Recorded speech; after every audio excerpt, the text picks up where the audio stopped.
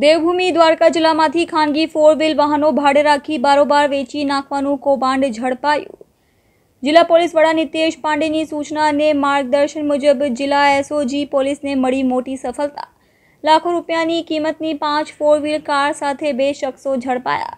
સયાના સાહિલ ઉર્ફ, નાસિર કાસમભાઈ ગજન તેમજ જેતપુર નવાગઢના ઉમેદભાઈ ઉર્ફ બાવ, બાઉદ્દીનભાઈ જુનેજા નામના શખ્સને મુદ્દામાલ સાથે દ્વારકા એસઓજી પોલીસે દબોચી લીધા.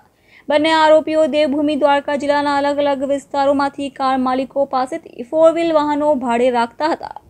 કાર માલિકોને માસિક મોટી રકમનું ભાડું આપવાની લાલચ આપીને બારોબાર વેચી નાખીને માલિકો સાથે છેતરપિંડી આચરી વિશ્વાસઘાત આચર્યો હતો.